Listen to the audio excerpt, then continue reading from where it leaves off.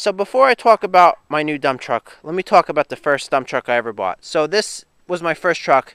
I bought it in 2011, so about seven years ago. And this is a this is a 1972 International 1310. I did excavation work probably longer than I should have without having a dump truck. I kind of started with a three quarter ton pickup truck, and whenever I'd need to move materials, I would just load them on my flatbed equipment trailer and then shovel them off on the job site. So obviously that took a lot of time, and I would just avoid moving materials because of it.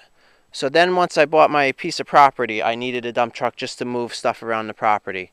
And I pretty much went on Craigslist and bought the closest, cheapest dump truck I could find. This was right in my own town, and I paid $1,300 for this truck. It ran and drove, but it didn't have any brakes. The guy drove it to my house, and then I got the brakes working. And I wasn't even planning on putting this truck on the road, but I just kind of really liked it, so I put it on the road, and I did end up getting a ton of use out of this truck. You know, it it was a very handy thing to have from going from not having a dump truck to having one. It was always pretty reliable, but was occasionally doing repairs to it. And the thing, I haven't used it in the last year. It still runs fine. I mean, it could use a little TLC, but nothing, nothing crazy. Um, you know, the kind of the reason I stopped using it was the it just couldn't carry enough weight. So a truck like this is great for materials like firewood, garbage, scrap metal, mulch, most of the lighter materials. Once you start getting into stuff like stone, gravel, it just doesn't carry enough. You try to re-gravel someone's driveway, you get a load of stone in this thing, you dump it out, spread it, and it's it's gone. It's like it didn't go anywhere. You know, this truck, I mean, it's kind of considered a one-ton truck.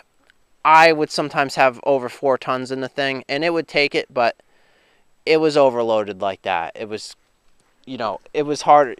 You had to drive it accordingly when you had that much weight in it. I kind of realized at that point I needed a bigger dump truck when this one started getting frustrating. One of my friends the other day, he's like, "Oh, I'm going to convert my pickup truck into a dump truck," and I'm like, "No, dude, that's a complete waste of time. You're, it's going to cost a lot of money to do that, and pickup trucks really can't carry anything. I mean, what can you put a pickup truck? A ton at the most, and that's that's overloaded. So you know, if you're thinking about getting a dump truck, at least get a, a real dump truck. You know, at least a one-ton truck like this is somewhat useful. I drove this one a couple years, but then I went on Craigslist and kind of bought, again, the cheapest dump truck I could find on there. I bought this 1987 Ford F800, and this one's got the Ford straight six turbo diesel motor, and it's got an Allison automatic transmission. And I almost didn't buy it because it was an automatic, but it's um, I've never had a single problem with that transmission and it's extremely easy to drive.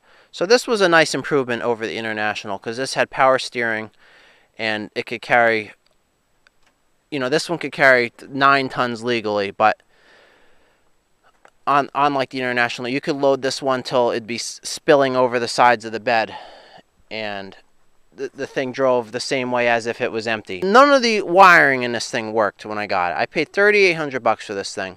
Which, if you go on Craigslist, you know, trucks like this are on there.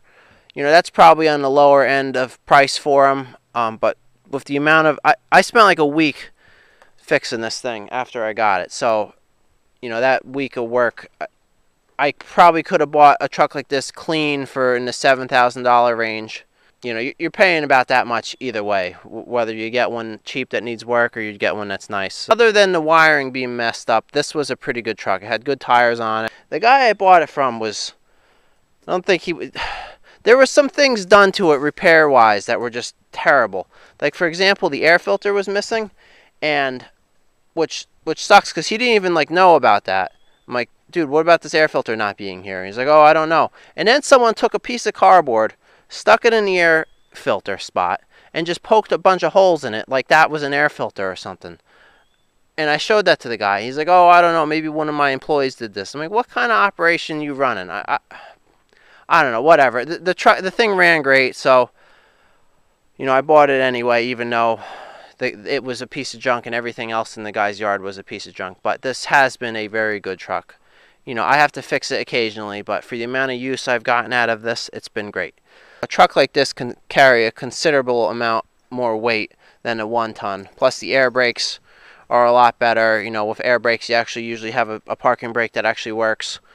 So, you know, the the manual brakes or the of hydraulic brakes, a lot of times like the parking brakes never work on them. And my friend had a truck similar to this. It was funny, like you'd start loading it, and then the thing would roll away, and you'd have to grab it with the excavator quick because as soon as you start put, putting weight in it, it would roll away. But but a, a six wheeler truck like this is a great truck. Now, if this this is an F800, if it had maybe been an F700, it would have hydraulic brakes, and you could register it for under 18,000 pounds, and then you'd have a truck where you wouldn't need a CDL, which is kind of nice. This truck, since it has air brakes and since the gross vehicle weight is over whatever, it's just over what it's supposed to be. You know, this truck requires a CDL. So I did a few jobs this year where I'd be hauling in like 20 loads, and still this truck would seem too small. I feel like I could make money faster with a bigger truck because a bigger truck, like a 10 wheeler, could carry a little more than double what this can carry. And essentially, I could be charging the same amount of money for trucking in the same amount of material and just do it in less than half the time. So that, that was my incentive to get a bigger truck.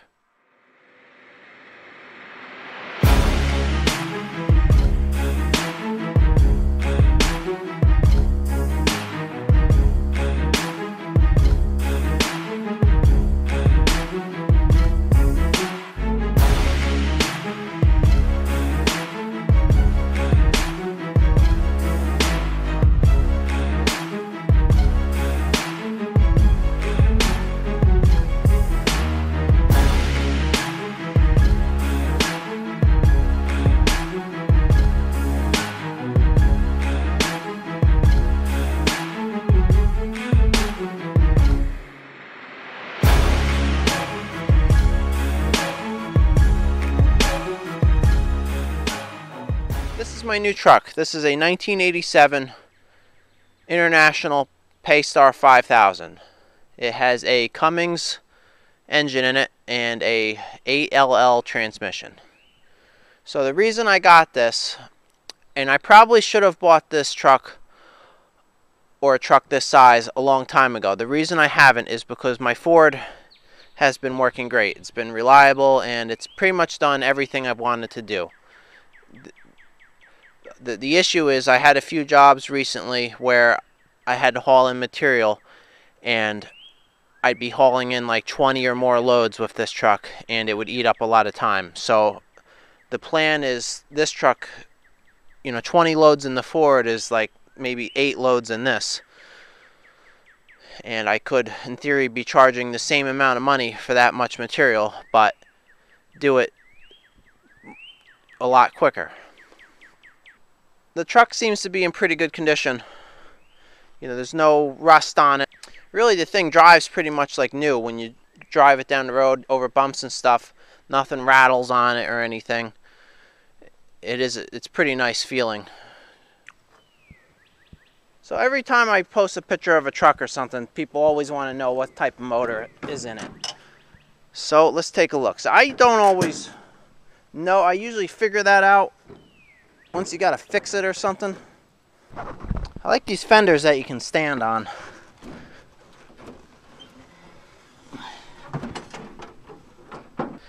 Alright, so this is the uh, motor in this truck. It's a six-cylinder Cummins diesel engine. And, uh... Alright, so here's the other side of the engine. I guess you can get a better view from here. But but yeah, the thing, you know, it starts up super easy and uh, runs fine. So hopefully I'm not under this hood too often.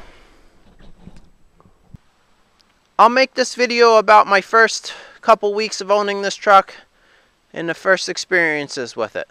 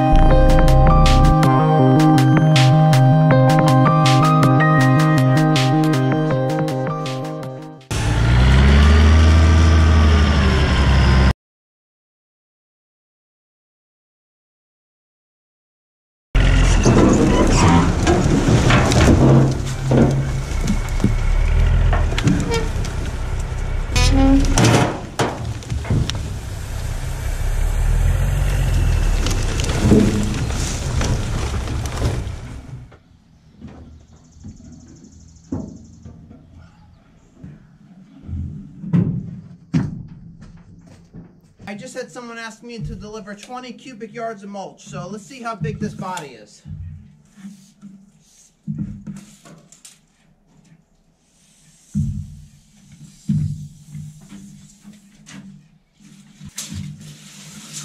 All right, 14 feet, 5 inches. And the sides are 5 feet tall.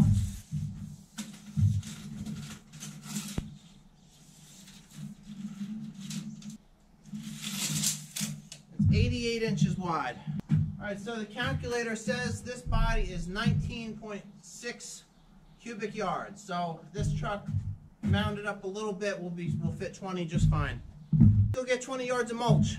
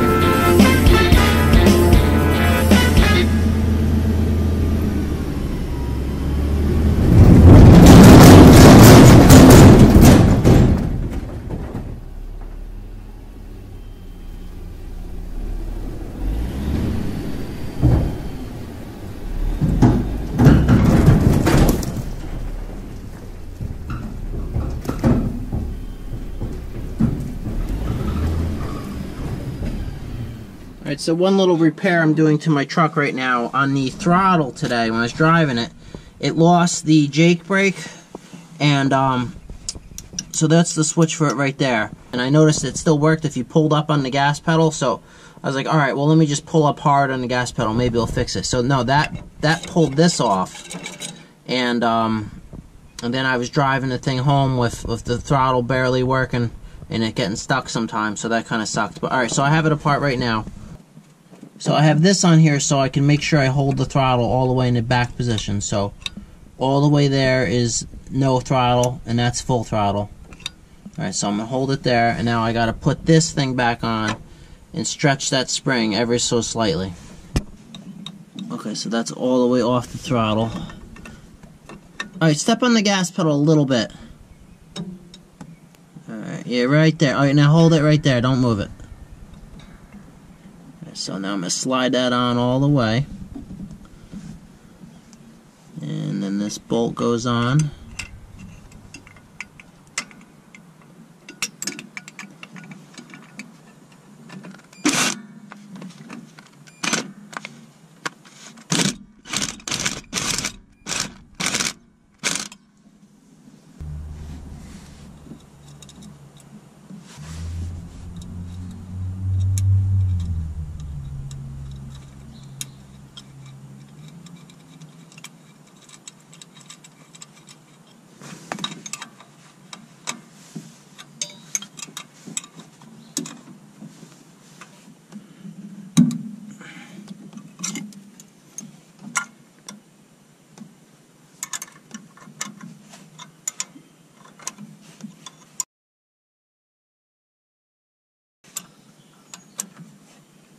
Alright, let off.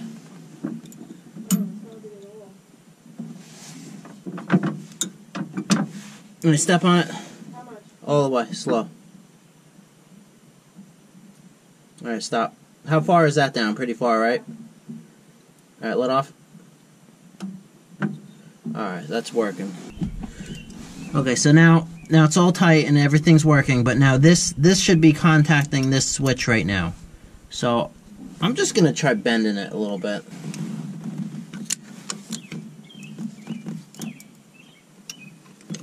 Step on the gas a little bit. Alright, hold it there.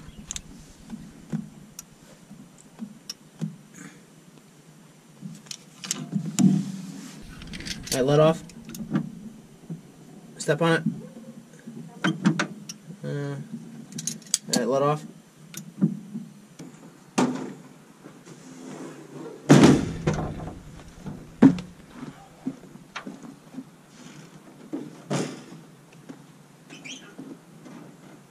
Right, that should be all fixed.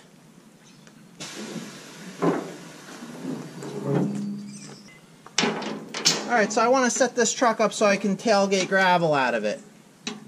And it's already got all the hardware, I just got to add the chains. So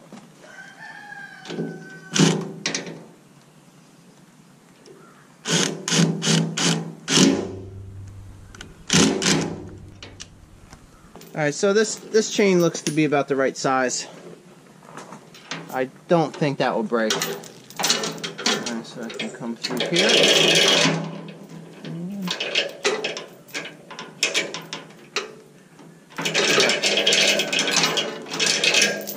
Well, I'm just going to cut this right in half. So.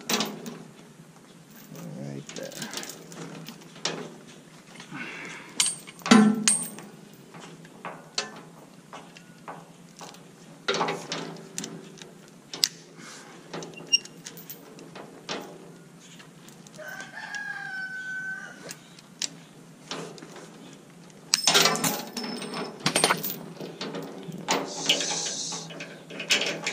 It's all the way big.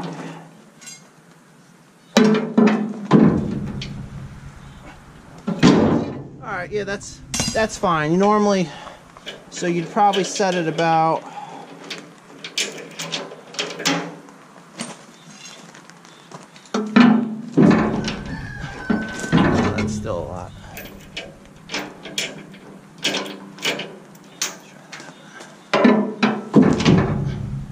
Yeah, so probably about there if you're tailgating like a three quarter inch stone. And then when you're not using it,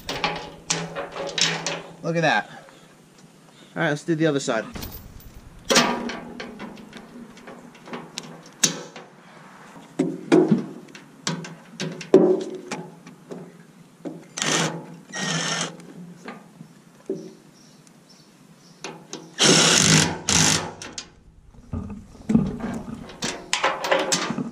All right, great. That's all ready to tailgate stone. All right, so this is my first attempt at tailgating stone with this truck. So I'm actually going under power lines here, but they're really high, but this uh, dump body goes really high too. So I guess, I don't think I need to put it up all the way. So I don't know, I guess let's, let's, let's see what happens.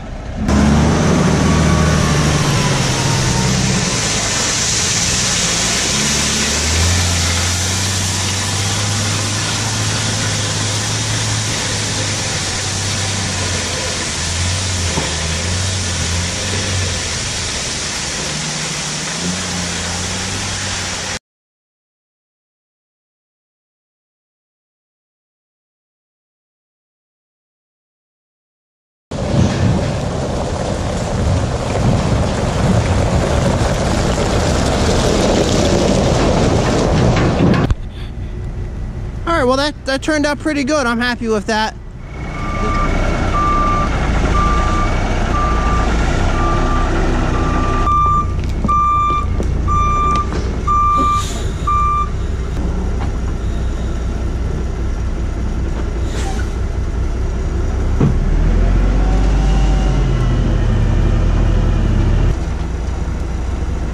All right, so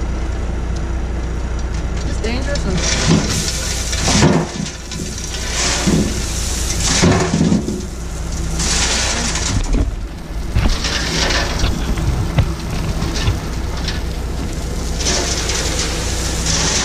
Alright, so this is like my first time driving it with actual weight in the thing.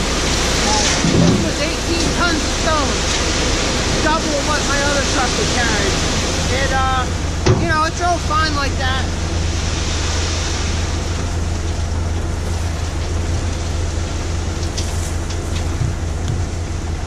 Yeah, I should be able to make more money because that's carrying double what my other truck could carry, so I'm gonna charge double.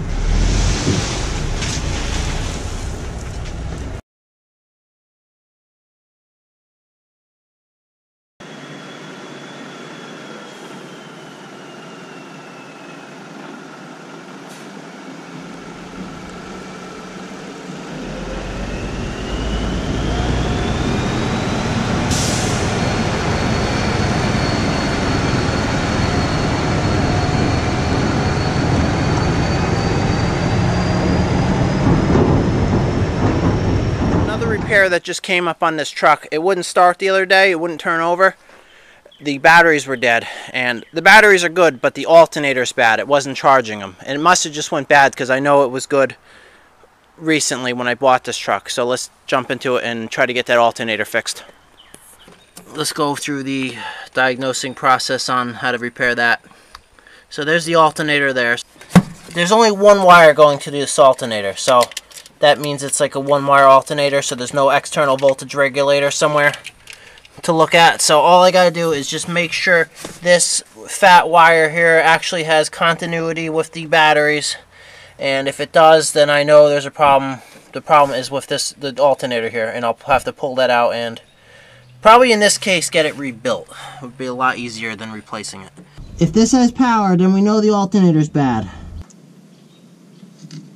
Alright, it's got power, so we know we have a bad alternator, so let's remove it. So you ever play that game Operation? It's a game where you can't touch the sides, taking bones or whatever out of a, a something. Um, that's what I'm doing right now. If I touch this wrench to anything, I get a big spark. Because this wrench is live.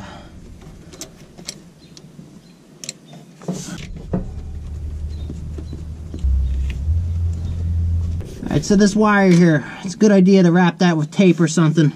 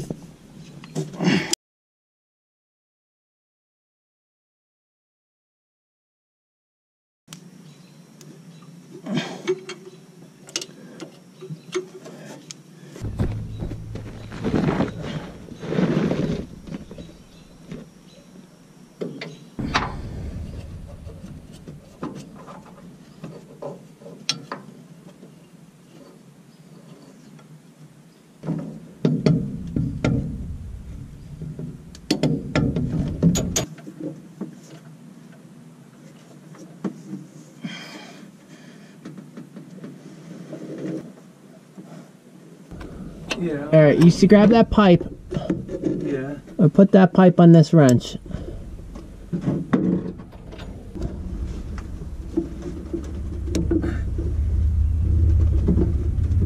It's not doing it. Pull harder. I'm pulling hard, Andrew. Pull harder. You're on it. That's it. Pull, lift the pipe up more to give yourself more power.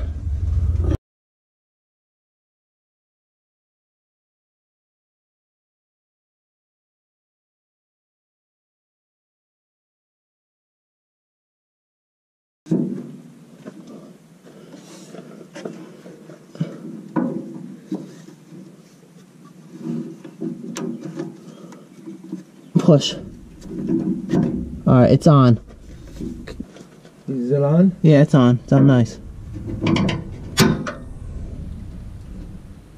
Yeah, it's turning.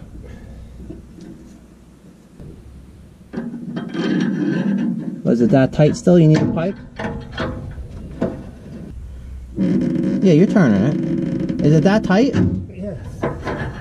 Have it. Yeah, it's turning. Go. Look, you got it. You got it. Awesome.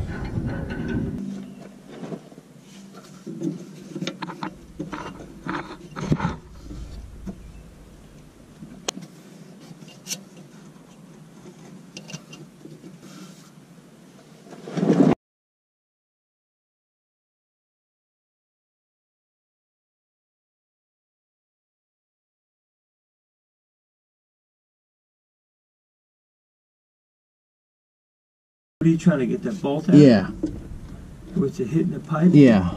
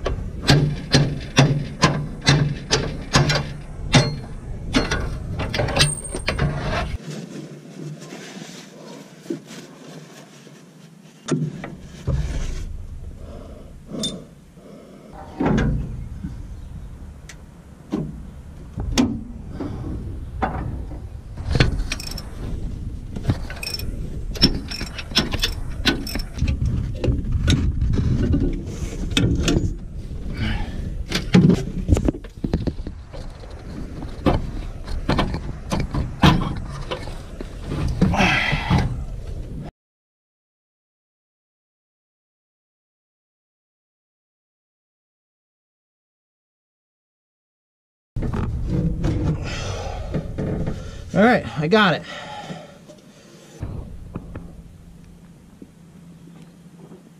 I just picked this up from the alternator rebuild place. The guy that fixed it, that's what he does. He does alternator starters and electric motors, and he does that all day, every day, so he's pretty good at it.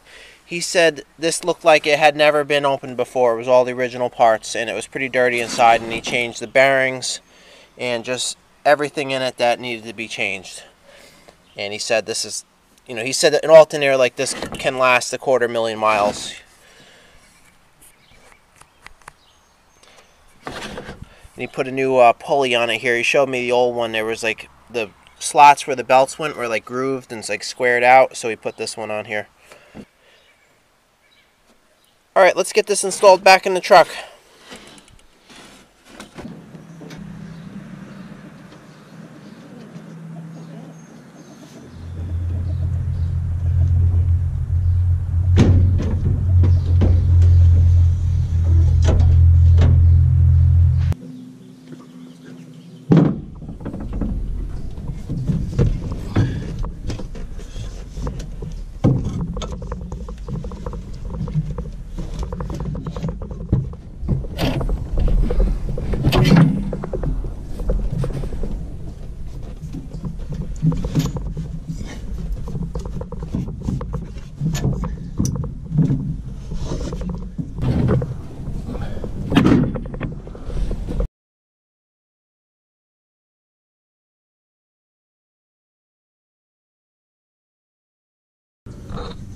Alright, in an attempt to line this up, I just ground the head of this bolt.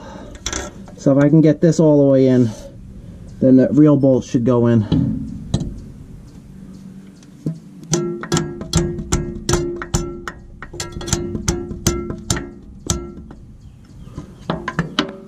Alright, so now I know it's lined up.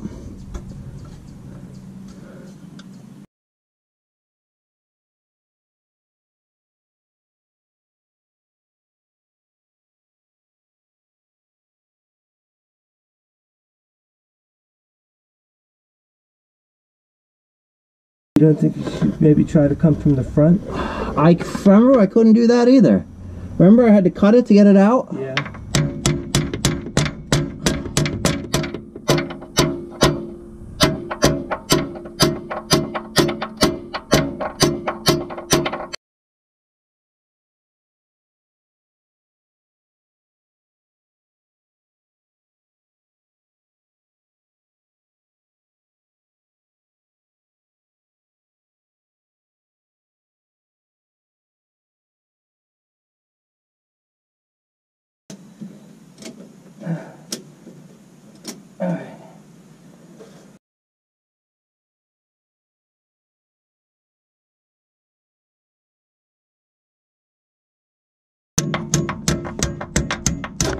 Let go. It went. Oh, finally.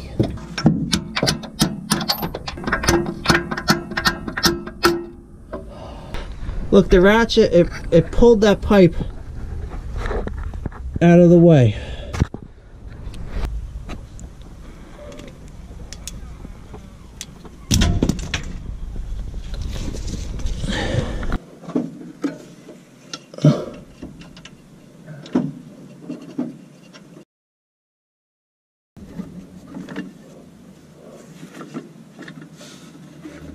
Wait,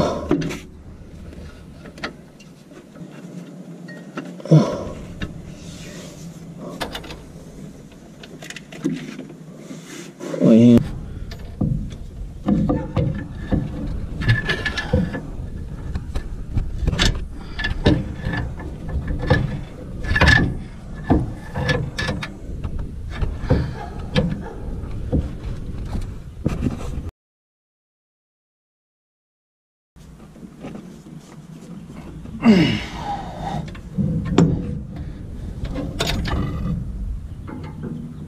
Uh, put it back. In. Alright, you're, you're in, but not all the way, but here, you have the...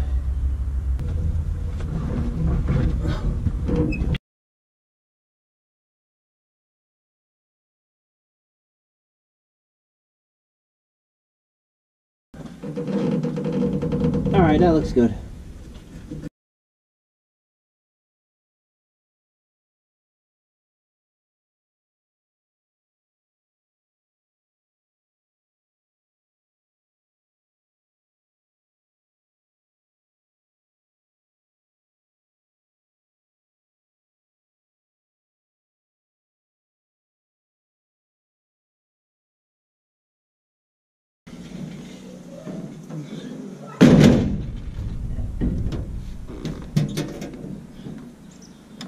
Alright, that should be all fixed. Let's try it out.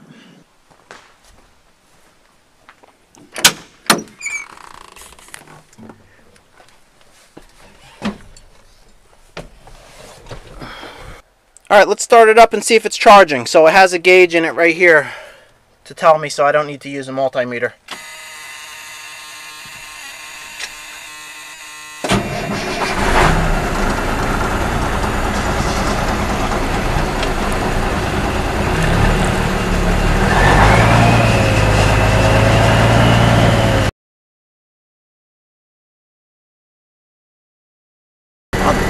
That should be charging right about there. Looks like it's going up. That's good. That's good. That's definitely fixed. All right, back to work. I've had this truck for a couple weeks now and done at least a dozen or so deliveries in it. Let's take it out now and go on like an average gravel delivery. I got what I need to get.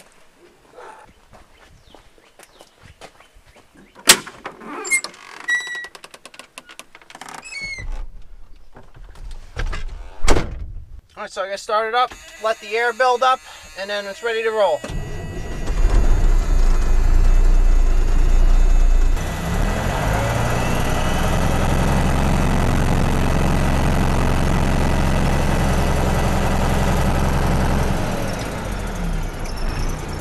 Alright, so I just got the air pressure up. So this is the dash. So that's cool. It's got this thing for the air trailer brakes. I've never had a truck with that before. Let's go over all the controls quick. So this here, this is for the exhaust brake. So that turns it on and it stalls the engine right out if you're not driving. Um, this is cool. You can select it from six to two to four cylinders, and that works really well. If you're going down a hill or something, you can just be in and have it on six, and then if you're if it's slowing you down too much, just switch it to four or two, whatever. And uh, I just kind of go back and forth between them to regulate the speed, and I can go down a big hill without ever touching the brakes. Which is not, you know, really, I don't think you could drive this truck without that exhaust brake. That's pretty important. You know, that four doesn't have it, but it um it really doesn't seem to need it. This power divider here, that locks the rear axles together to give the truck more traction if you're in mud or something. This is the truck parking brake here. This is for the trailer brakes. Radio and stuff here. Wipers. It's got air wipers in it. and they're controlled individually.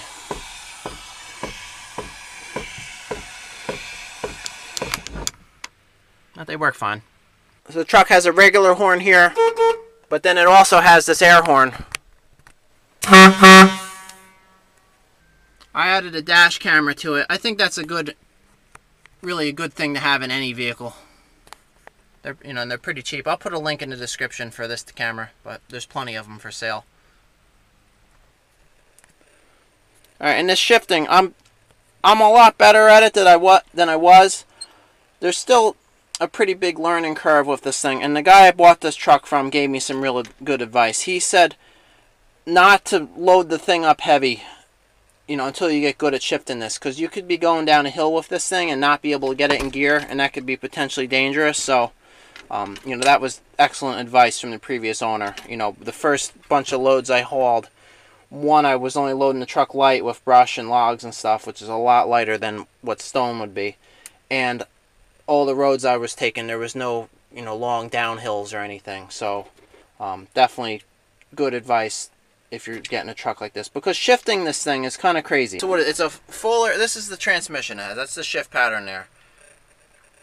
So pretty much you start out in like low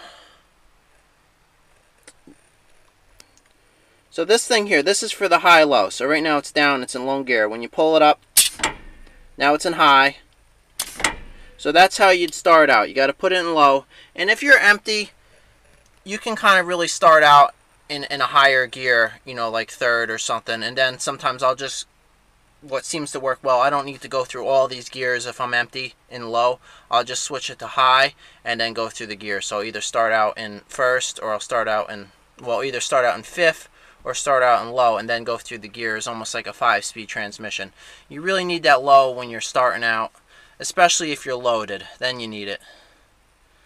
It's shifting this thing isn't easy because what you have to line up the speed of the engine with like the speed of the transmission or it won't go into gear and you don't use the clutch when you shift. So let's take it out for a drive. I'll show you what I mean.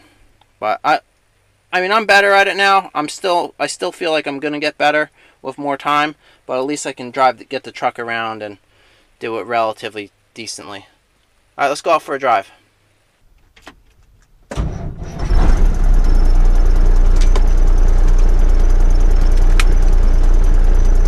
To get started, you know, this is when you use the clutch, put the brake off, and just to turn around in my yard, I'll just use like, you know, in low range, it's geared so low. It's nice having all these low gears.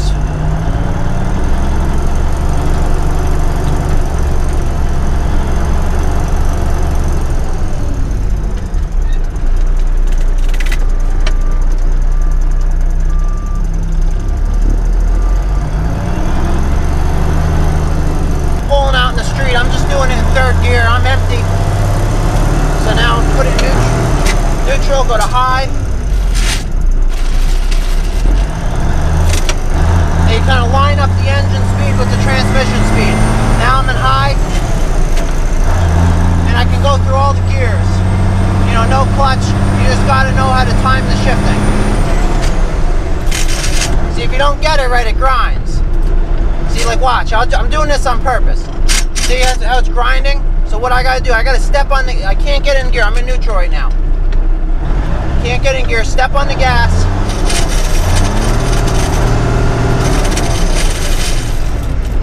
And I got, then uh, once you line them up, it goes right in. So there's a really big art to have to doing that properly.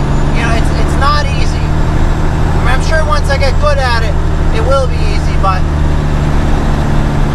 you know, I've only I haven't driven the truck that much yet, so. So right now, you know, I'm, I'm getting it around just fine, but.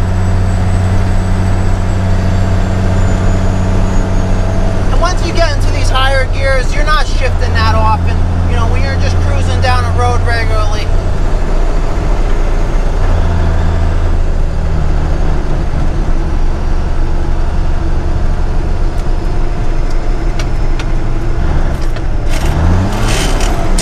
And when you got to go to downshift. See, you got to rev, put it in neutral, you got to rev up the motor or you won't be able to get it in gear.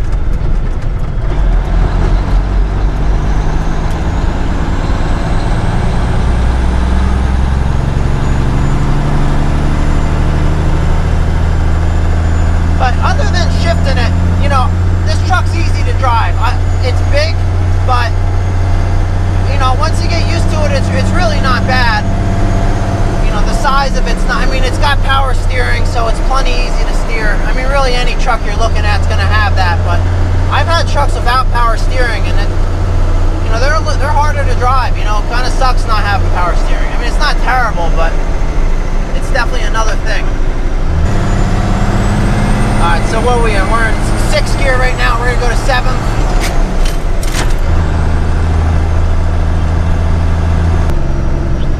You know, these windows are great. I don't know why new vehicles don't have these windows. I mean, that's it, it keeps you so much cooler having these. Having a dump truck, know, I do a lot of just deliveries for people, just bringing in materials on jobs where I'm not even working. And I like doing that because I like driving the truck. It, it, it's easy. You want to know where you can get all the different types of materials. So the common things I'm delivering are like stone, and there's a lot of different types of stone. You know, sometimes I deliver mulch, dirt, and there's all different types of dirt. Um, really, anything that goes in the back of a dump truck, you should know where to get it because people are going to want it. All right, so now coming up to an intersection, you want to Start slowing down. Now, since I'm empty, I don't need to put it in low. Well, I don't need to put this in low, but I, I put the transmission in low. You can't see here.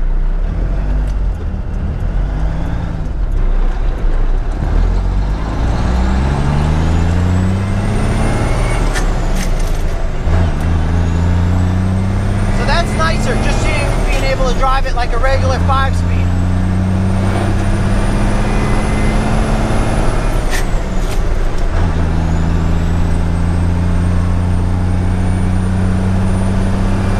Alright, so here now we're going to eighth gear.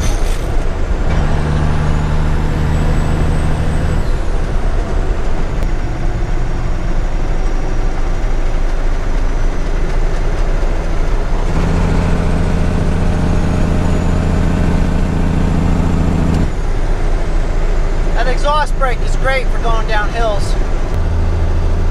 I mean, the best way to describe it, you know, the, the regular brakes are kind of for like stopping. The exhaust brake is for maintaining speed when you're going downhill, so you're not, so the truck isn't running away from you. Because you wouldn't want to use your regular brakes if you're going down a hill because they could overheat. You know, that's that's misusing them. It's overheating them. You know, that's why you really need that exhaust brake.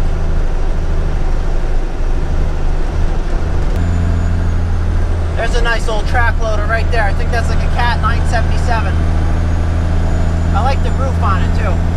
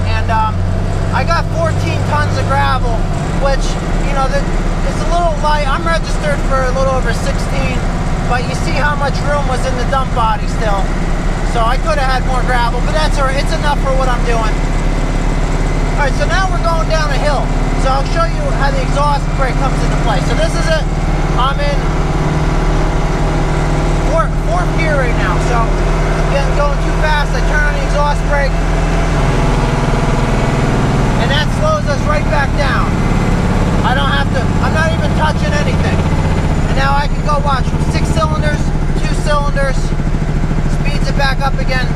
And that's what you want to do. You know, nice, easy, controlled, down the hill, Whip it loaded. I don't need to even step on the regular brakes. Now I'm going fast again. I switch back to six cylinders.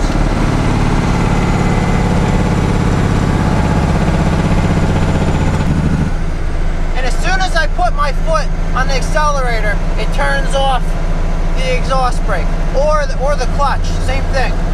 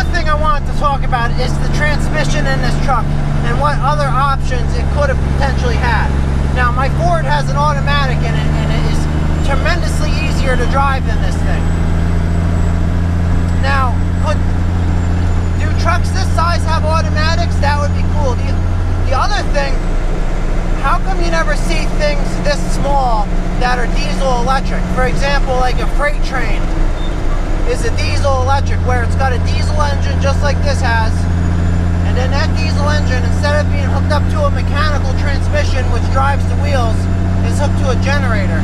And then that generator is hooked to an electric motor on the drive wheels.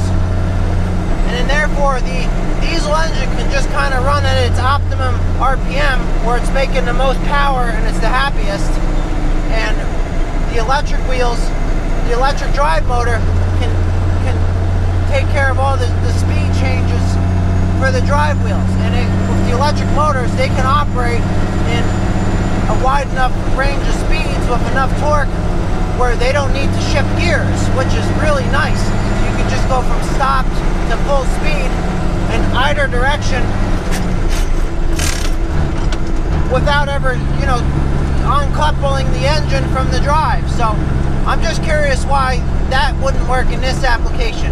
You often see it on other things too, like big wheel loaders, or I've seen it on military tanks.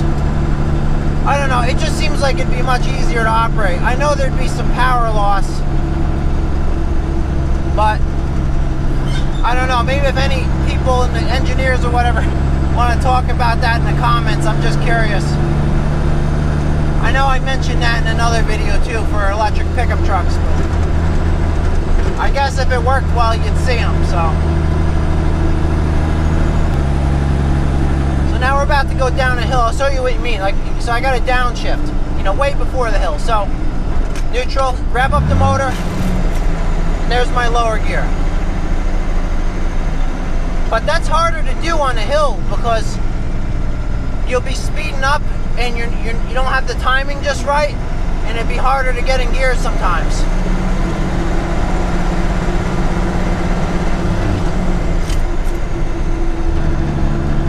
But I mean, that was a nice shift there. I mean, when you get it, you, you know, everyone says once you get it, you get it. And it just takes seat time, that's all. All right, now we're at our delivery. That was a nice short one. No mountains or anything involved. But I have been, do that one job I've been on lately, it's been up a mountain. And I gotta say, this thing can climb up hills no problem. And what I mean by no problem, it doesn't overheat. The temperature gauge, gauge doesn't even move. My other truck overheats, it's a pain. It's a lot, it's nice when the truck's not overheating.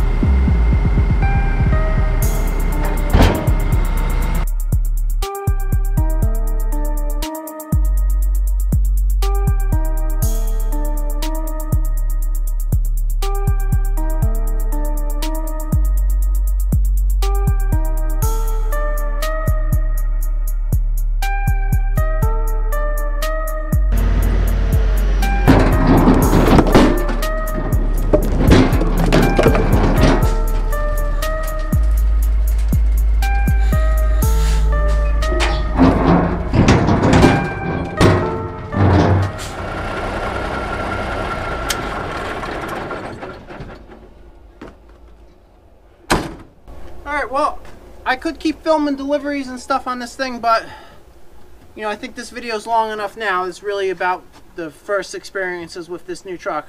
But um, I'll be sure to, you'll see this truck in plenty of my future videos.